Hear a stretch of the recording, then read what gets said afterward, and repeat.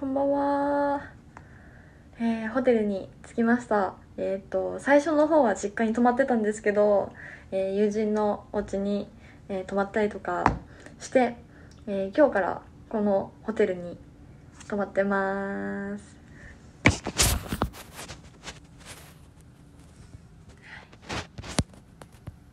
綺麗なホテルだよやった今日はねちょこっとえー、外出してきました。じゃん。かわいい。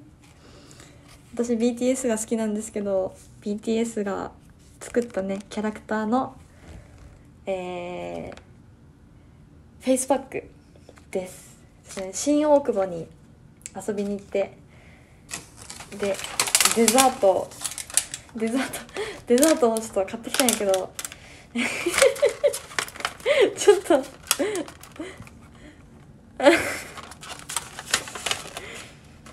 見て。あそうこの。黄色い子ですね。黄色い子の。黄色い子とは言えないけど黄色い子なんじゃないかな？みたいな。このマカロンを。ちょっと耳がもうちょっと運んでるうちに崩れちゃって ちょっと黒くなってるんですけど。はい。いただきます。ちょっと画面外食べるか？食べれないから。いただきます。うんこれ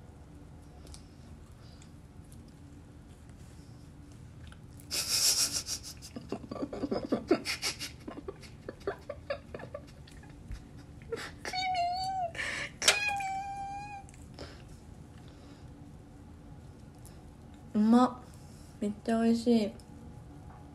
ピーナッツ味だったかな。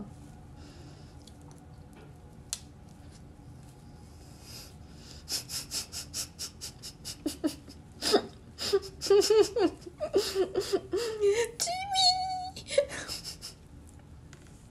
美味しいです。美味しいです。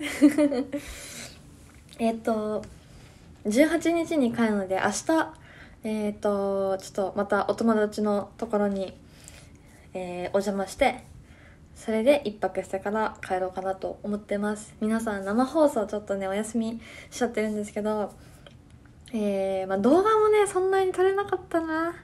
ということでまあプライベートな動画がちょっと出るかどうかわからないんですけどもまあ生放送なり私が帰ってくるのを楽しみに待っててください。ほんじゃ。皆さんおやすみなさい。バイバイ